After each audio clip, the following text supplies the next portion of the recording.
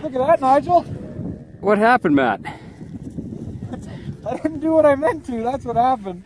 Look at our camera. We had this set up, pointed up the hill.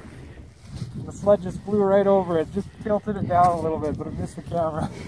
But she's pointed straight up and down now.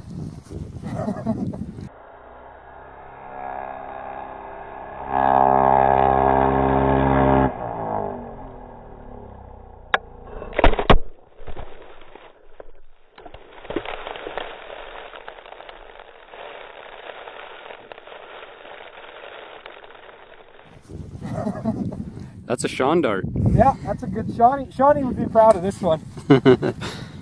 Holy fuck. That scared me a little.